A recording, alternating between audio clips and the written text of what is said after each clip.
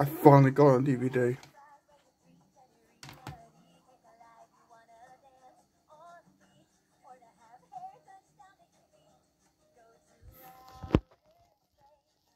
Best animated movie of 2023.